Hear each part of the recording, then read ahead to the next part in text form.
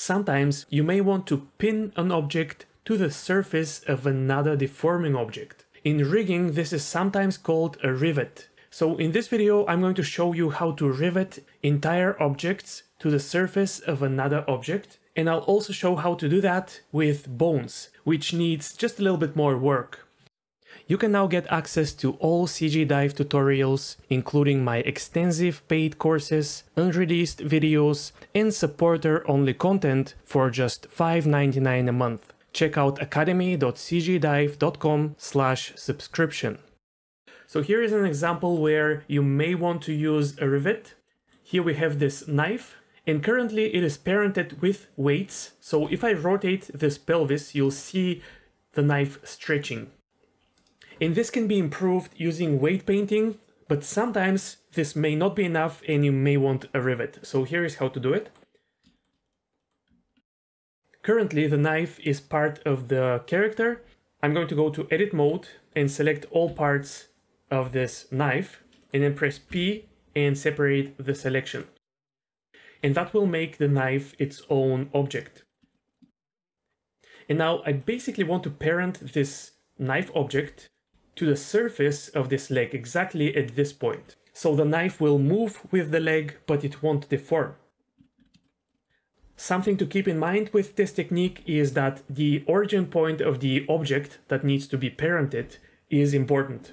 Currently the origin is over here, and I want to constrain it to here. So what will happen is that we'll parent this point to this point, and it won't work well. So I'll right click, set origin, and choose origin to geometry, and that will place the origin inside the geometry of the knife. Then I can go to tool and enable affect only origin and move this origin a little bit up. So this would be the perfect origin point in my opinion. And don't forget to uncheck only origins so that you're in normal object mode. Now to pin this object to the surface of the leg, I'm going to hide the knife temporarily, select the character object, go to edit mode, and select three vertices in this area, right where the knife is. Then go back to object mode, Alt H to unhide the knife, then select the knife, shift select the character, press Ctrl P, and choose vertex triangle. And now if I move the pelvis, the knife will be moving um, slightly unpredictably. That is because I unparented this knife from the main character and it still has an armature modifier and that is influencing it. So I'm going to delete the armature modifier and go to vertex groups and delete all vertex groups. Now it should move more predictably. Notice how the knife stays attached to the leg of the character and it doesn't deform at all. Okay, so if you need to pin an object to the surface of another object, this is how you do it, using the three vertex parenting. And again, pay attention to the pivot point of the object that needs to be pinned. Now, just in case you're wondering, if I press Ctrl P here, there is another option which just says vertex. That is very similar but it will behave slightly differently. So let's hide the knife for a second, go to edit mode and select a single vertex in this area. Go back to object mode, unhide the knife, select it, shift select the character, control P and parent with vertex. Now, if I rotate the pelvis, you'll see that it kind of behaves similarly, but if I push it too far, the knife keeps its orientation. So because it's only parented to a single vertex, it doesn't have enough information to understand the orientation of the surface. And that is why we use three vertices. Three vertices give Blender enough information. So if I undo here, hide the knife, go back to my character and select three vertices. By the way, these three vertices don't have to be connected. You just need three vertices and they create an imaginary triangle here. Select three vertices, select your object to be pinned, select the surface, Control P, vertex, triangle. And now you'll have the object following the position and orientation of the surface. Now let's say that you want to pin a bone rather than an object to the surface of a mesh. Blender won't let you do that directly, but there is an easy workaround. Just pin any object to a surface and then you can constrain your bone to that object. Typically, you would use an empty as the intermediate pin object and constrain the bone to that object using child of constraint or copy transforms. I'll demonstrate both, but either way, you may get a strange dependency loop problem, so I'll explain why it happens and how to solve it. I'll start over with this character. So we have the knife still weighted to the hips. And first I want to pin or parent my intermediate object to the surface. The best type of object to use for this purpose is an empty, because they won't show up in your renders. So I'm going to go to the character, edit mode, select the legs object and press Shift H to isolate this selection, and then select my three vertices, and press Shift S and cursor to selected. Go back to object mode, Shift A, empty, and you can use any shape you want. Their functionality is the same, but I like the sphere for this kind of setup. This empty is very large, so I'll reduce its size. And then I can shift select the character and press Ctrl P and parent to a triangle. And now the empty should stay attached to the surface. By the way, if I select this empty and shift select the character and go to edit mode and select my three vertices here, I can press Ctrl P in edit mode and choose make vertex parent. And that should have exactly the same effect as the vertex triangle parenting in object mode. However, I've noticed that sometimes parenting in object mode doesn't work, but parenting in edit mode like this does work, so I thought I'd mention this other approach. Either way, I'll check if my parenting is correct and it seems to work, so I can move on. Next, I want to create a new bone for the knife and make sure that all vertices of the knife are weighted to that bone. So I'll go to edit mode for the armature and the pivot point is in a good position, so I'll press Shift A to create a new bone.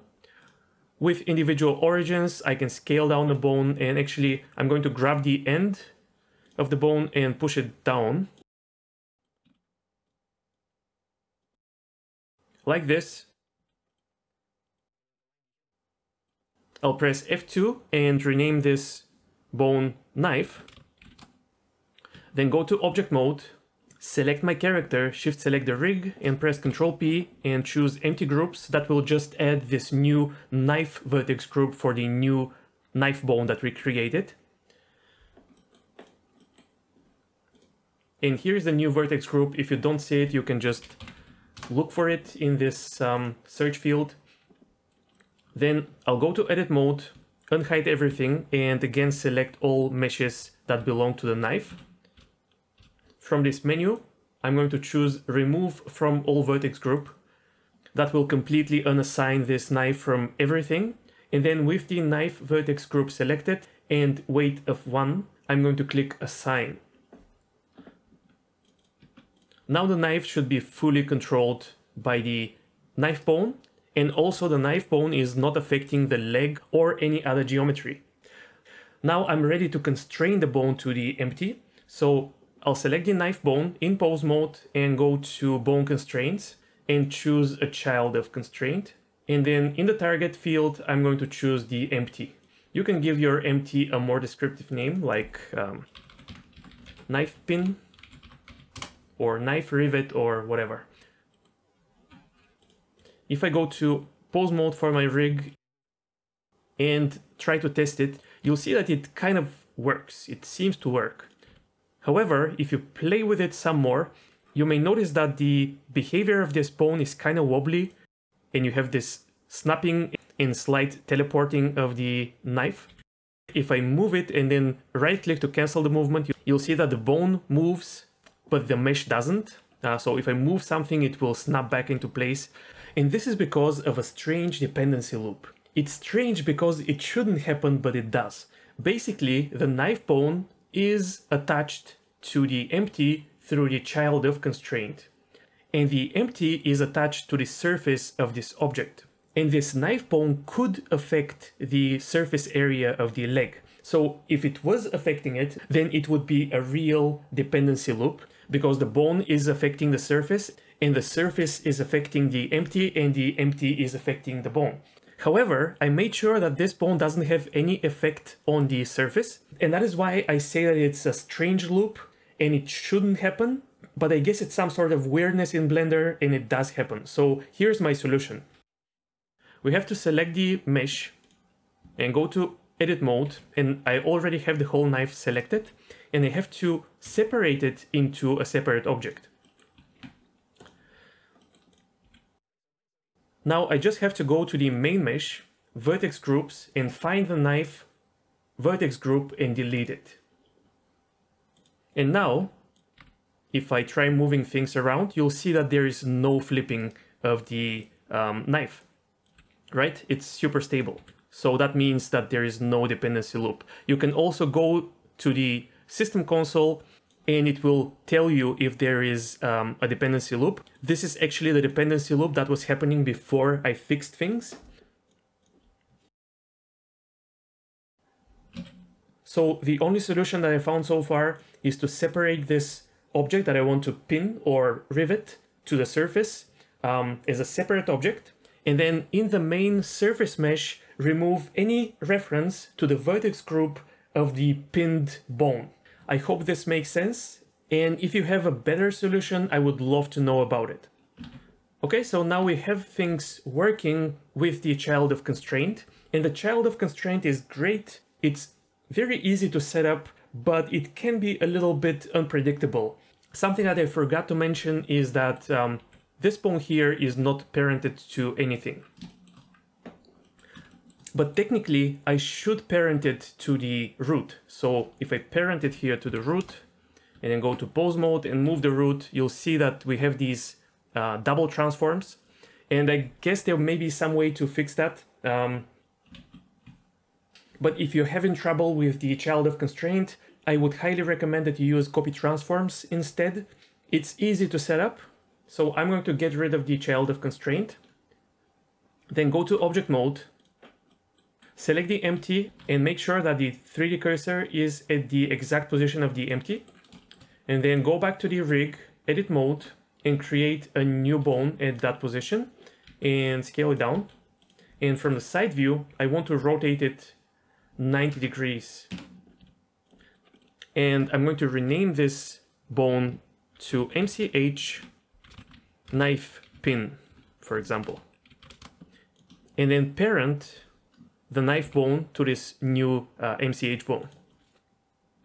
So there are two reasons for creating this additional bone. The first one is that the copy transforms constraint requires the orientation and location of the bone to be exactly overlapping with the empty. Another reason is that when we constrain the bone with copy transforms in world space, we'll lose the ability to move or rotate that bone.